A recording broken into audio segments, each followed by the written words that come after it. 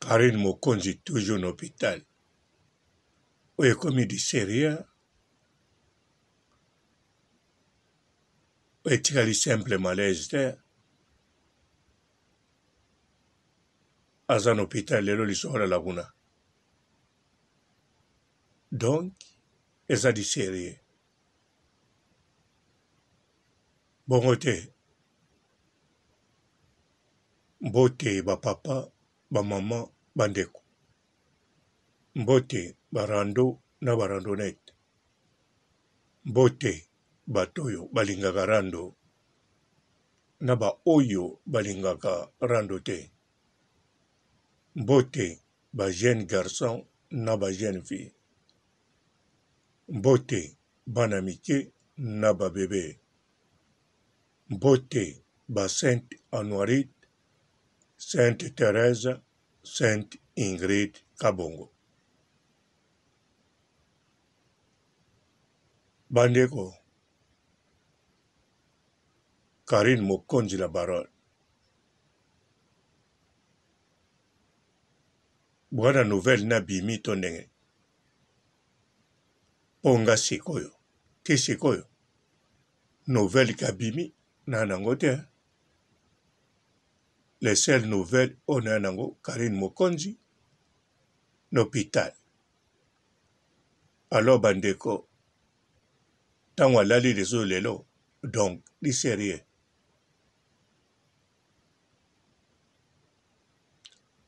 pamba te n'hopital bon mikolo oso batie yo na hopital batiki yo ba observe yo donc ezali simple malaise te eh. mpo soki ezalaki simple malaise meme jour akei na ye kaka na urgence bandeko ya bongo surtout na ba belgique na ba France meme biso a partout kaka donc na urgence bakotala openya bien bien bien surtout na Belgique na urgence bakotala mpenza bien voir meme okoki kozwa na basoin mosusu wana kaka na urgence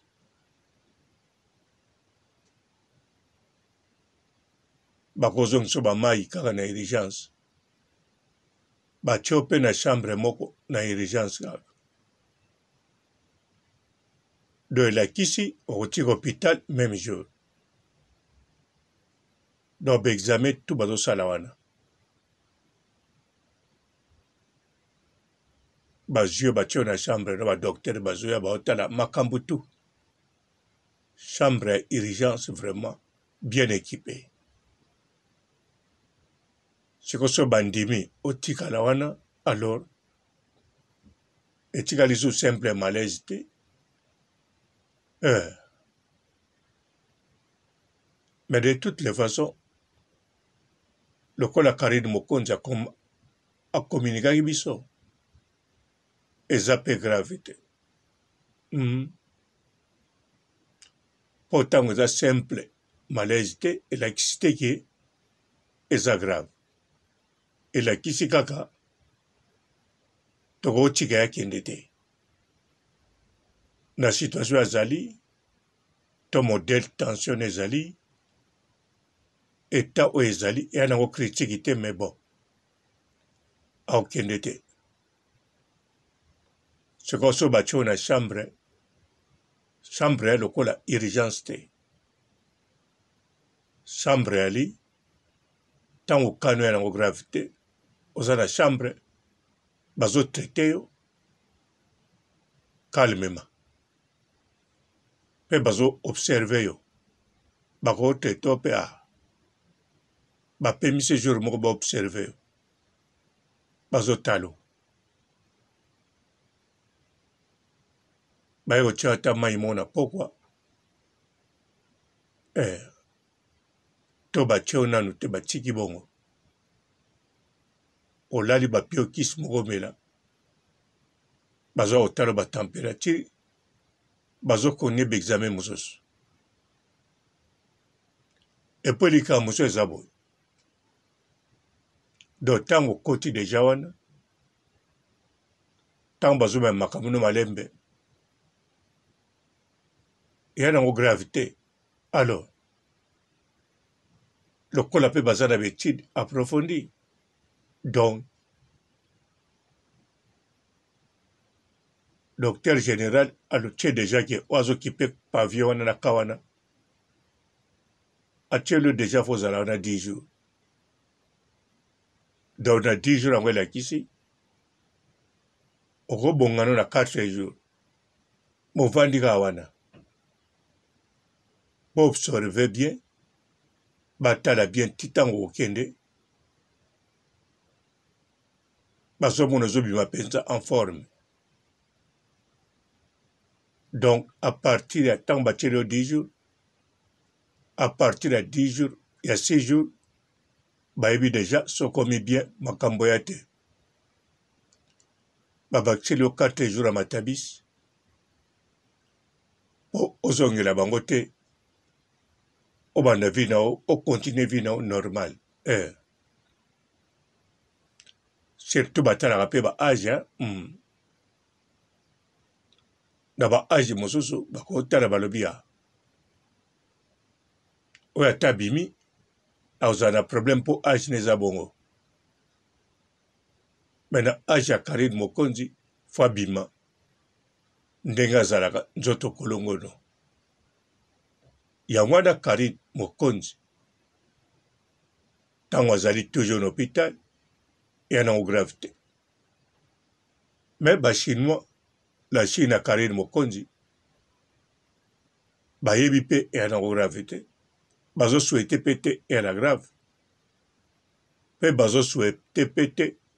carine mokonzi azala na hopital problème yango nde yango wana eh pa ba chinois carine mokonzi deux jours na hopital bango ya neti 20 jours 3 jours 30 jours so ekomi 5 jours ore bazwa yango lokola 50 jours bango baomona yango 5 mois yango wana la chine ya karine mokonzi c'est tout à fait normal bazala ya kose déranger bazala na motungisi bazala na bamituna baluka bayeba ah. yango mami aza toujours na hôpital to ndenge nini donc ti bakozwa nouvelle surtout lokola karine mokonzi ye moko apubliaki yango ya naza na hôpital donc na facebook na c'est normal bakotala a publie que na bimi hopital donc wana ekokitisa ba chinois motema po nga na koko loba ke la baronne aza na ye te abimi ba occupe na bango te po la baronne apostaki en hopital bayebi pe akoposte bayebi pe akoposte abimi pamba te la baronne Azo continuer ko publier soki botali malamu bokomona Carine Mokonzi azo continuer ko publier ba publication ezosalama na kati ya page na ye bokende bokotala bokomona yango eyali publication hôpital te ya etat na ye te ya sante akopublie makambo kaka nde ba publiaka na Facebook soki ye te moto mosusu asalelaka Facebook na ye mpo toyebi bien mpe ke Facebook ya Carine Mokonzi ba publication mosusu ye kaka te moto asalaka ba administrateur mosusu meme ata ba administrateur mosusu soki la baronne Carine Mokonzi abimi na hopital donc bako publier que Carine abimi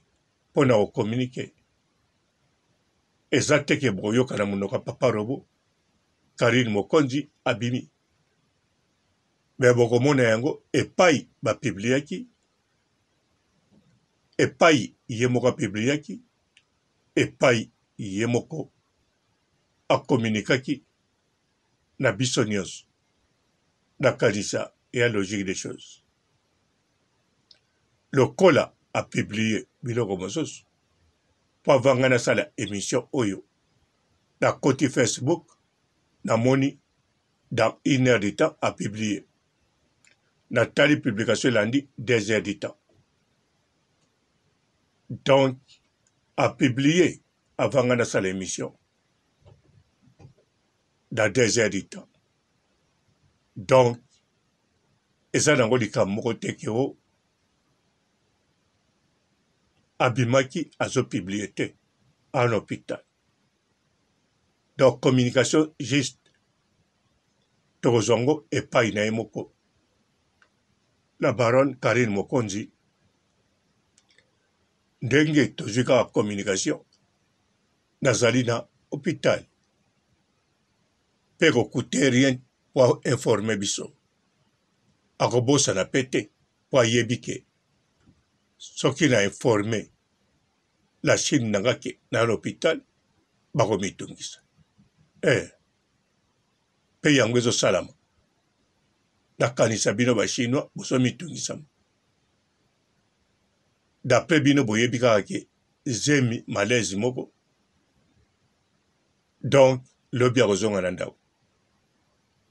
Mais ndenge toza boye Carine azongi te na Facebook a publier te kazongi a communiquer te donc a na hopital. Tango azali pe eza te ke babosani ye te soki atikali kuna na ntina oyo nde eza sire grave aza grave te oyo nde eza sire azali na nzoto kolombo nzoto na bokono donc mwa maladi to malaise wana etindi ba verifier bakende basala ba examen approfondi parce que soki ezali malaise na maladi na bafièvre to likambo moko boye to na makolo evimbi na mokumba alors bakobamba ye bakisi mbala moko te soki aza na zemi te akende hôpital fièvre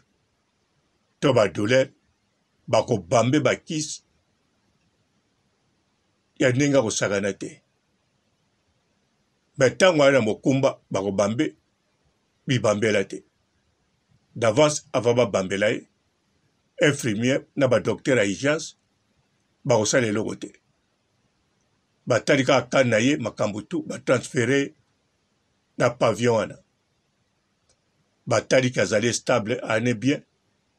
me doktere akote kuna atala makambo doktere wana mpe ayaka 6 heures du matin na 14 heures na moko atambulaka partout abetaka sikoyo na urgence na bamisusu donc eya différent na baka na baka na ba examen makambo ebele ebele mais bon de toutes les façons la baronne aza na position moko stable bachinois ata nalobi bovanda calme bokobanda komitungisama kaka mitema na bino ekobeta bokosentir vraiment à l'aise te comme tel bokozala na kimutungisi donc bokozala vraiment à l'aise te yango ga papa robo na baka bongo ebongi ngai na informe bino oyo ngai namoni obie tosololi kwa eza ko tosololi pamba te ngai ti sikoyo nayebi kaka la baronne en hôpital Nazozela oyo eko informer nga que abimaki. Bino pe bisika bozali boza komituna est ce que abimaki to azalaki? Azali. Ah! Mamy azowumela, azowumela na kati kuna, likambo nini ezoleka? Ba misusu ah! Eya zemi ya mwana mobali nde batielaki nga na commentaire. Ba misusu ah! Ata zemi ya mwana mobali. me wana ya malaise no fazonga bandeko eya bongo hôpital ya capable mpe atiki ye lobi nango mpe capable akangi ye 10 jours mpo bakangi kaka mpo ntango akobima ala mpenza modele alaka mpe na age na ye ngai papa robo nakanisa nalobi na bino Henrietta azali toujours bien na koko na ye en tout cas Henrietta alaka toujours à l'aise bien concentré mwana moke na nakokisi deux ans te maza na cerveau déjà ya bana 4 ans alataka bilamba bana 5 ans nga papa robo nasukisi awa botikala na kimia kwa pe bozala toujours na kozela mamy de retour. Bonjour fidèle internaute de www.elengiakombatv. Bonjour, bonsoir, balandi nyonso ya elengi ya combat. Hein? Congolaise TV. Bote bele bele bele par tout dans le monde, partout où vous êtes, partout où vous êtes, Elengi ya Combat TV vraiment. Bonjour, bonsoir, na abonné, ba fan nyoso ya Elengi ya Combat Congolais TV. Bonjour à mon boss, on a appelé ça vraiment un pandi. Bonjour à mon boss, JP Kiama. Je salue mon boss, Balobi, boss des boss, Babi, JP Kiama.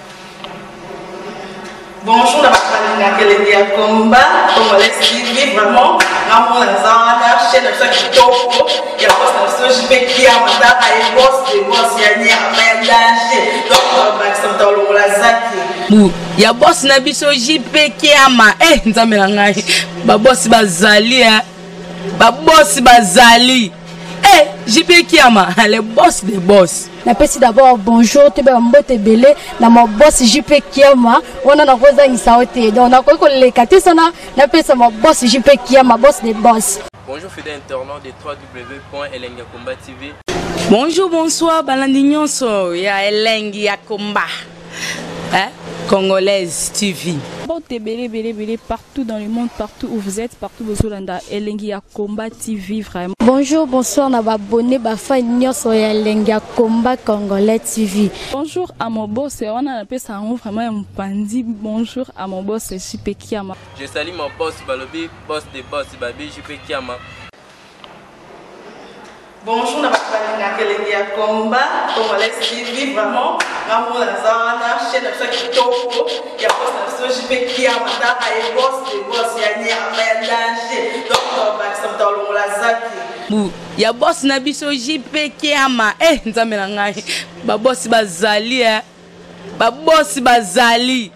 Eh, JP Kiama, le boss des boss. napesi d'abord bonjour toyeba bambote ebele na mabosi jp kiama wana nakozangisa yo te donc nakoki koleka te sana napesa mabosi jp kiama boss de boss mbote ebele ebele ebele partout dans le monde partout où vous êtes partout bozolanda elengi ya combat tv vraiment bonjour bonsoir na babone bafani nyonso ya elengi ya combat congolais tv